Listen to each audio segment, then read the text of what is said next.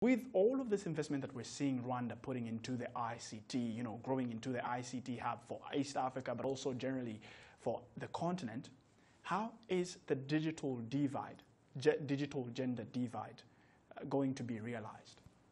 Uh, thank you very much for the question. Uh, first of all, I want to thank you very much for uh, the invitation. Right. And uh, before I talk on the question, uh, you should talk about my institution. Rwanda National Commission for UNESCO started in 1975 right. under the presidential order. And then uh, the commission, we have uh, a structure as a government institution, and then we have uh, the General Assembly, and then the General Assembly have five sub-commissions, and uh, we have, uh, uh, as a management of the institution, Secretary General, right. and then we have different departments, including this one of sciences and technology. And then come back on the question, These four is in the responsibility of my departments there at the commission. Uh, the issue related to science, technology, and ICT, and also bring issue of gender uh, education and uh, ICT. So the way we talk on this issue is that we need to look at what we have now on the ground. So the government of Rwanda put much efforts to make sure that the policy is there and then engage different stakeholders from different backgrounds, right. academia, government, private sector, to try to make sure that infrastructures are available. And then the policy that is promoting gender, not only in ICT, also mm. in other sectors, is an ingredient just to make sure that ladies, women are uh, have the same opportunities. Yeah, have the same like opportunities as their brothers. Right. Uh, that's what has been done. And then on the side of the commission, we are promoting innovation and knowledge exchange. And then this, this component of gender and education is part of our concern. That's why we used to organize these ICT uh, related challenges and then we bring the ladies and women to exchange on that. I think that's where you get uh, informed about the event we have organized uh, last two weeks where we brought together ladies from different uh, background universities and uh, secondary school to exchange on issues, on gaps, and solutions. Right. Uh, just quickly into that, uh, Dominique, yeah. mm -hmm. do we have the right ICT infrastructure in Rwanda? And if we do, how affordable is it? Because one of the things that we look at is, yes, it could be there, but can I easily access it? So how affordable is it? Definitely, that's a very good question. Uh, first of all, uh, let's say uh, many thanks to the government of Rwanda because of how far have we gone right. to the establishment of what we have there or what we have right now in terms of ICT. So I can say that we have a huge contribution of the government of Rwanda to make sure that we have all those infrastructures.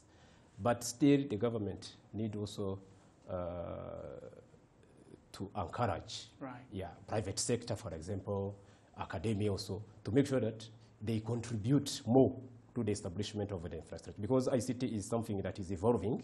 We cannot say that we have infrastructure and we stay there. No, we need to look at what we have now in 2019, mm. and then how or where should we be as a country in the next 10 years. And then I think the government is doing a great job, and uh, everyone is called upon just to make sure that this contribution uh, is there in terms of having infrastructure. Right. With the rush to hit the, government. The issue of affordability, right. that's what I want to talk on. Uh, I think affordability goes on different levels. If we are at the level of society, uh, look at what we have across the country. We have, we have 4G, we have uh, uh, access to the internet. Uh, but how affordable office. is it? Because yes, the 4G is there, 100% connected yeah. through yeah. Rwanda, but how affordable is it? Yeah, and I want you to give me, a, mm. you know, uh, your opinion on that, yeah. or something that is, how affordable is yeah. it? Affordability, I think, uh, is still an issue because of how many uh, companies that are in the business of providing that. Right. So maybe as we move on with the number of people or with private sector involved in this sector of making sure that everyone has access to the ICT, it right. will have an impact to the price. Right. I think then on, as we move, the, the, But at this moment, it is not as At this moment, uh, I can say still uh, there is an issue of the price. That's a concern. Right. Uh, Dominique, uh, we've seen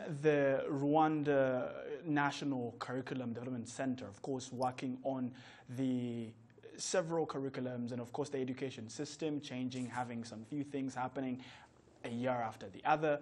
But currently, with the rush to you know, hit the targets of uh, becoming a knowledge-based e- economy, how much does the current education system prepare the students for the future? Not for today, but for the future, because the future is technology. How is it engaging them?